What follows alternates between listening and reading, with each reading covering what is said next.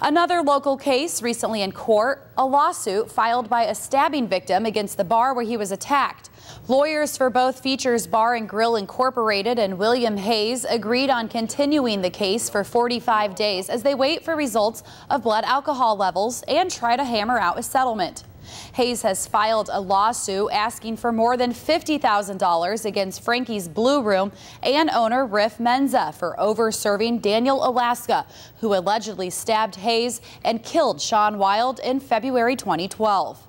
The lawsuit filed in late January says that Hayes suffered severe and permanent injuries and will be hindered and prevented from attending to his usual duties and affairs.